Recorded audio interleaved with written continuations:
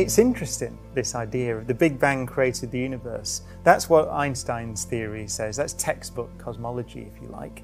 But the current textbook picture is there was a, a phase in the universe's life before the Big Bang, if you define the Big Bang as the hot, dense phase from which the universe appeared to sort of burst forth 13.8 billion years ago.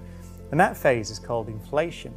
So, what we think happened is that before that, the universe was accelerating exponentially fast. It means it was doubling and doubling and doubling in size.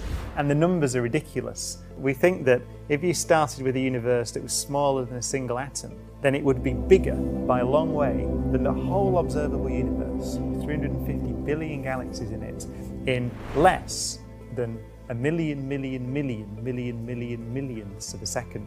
So very rapid, exponentially fast expansion. And when that stopped, all the energy that was driving that expansion got dumped into space. It heated it up.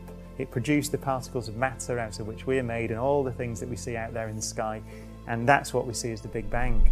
So that sounds fanciful, but that's standard cosmology at the moment.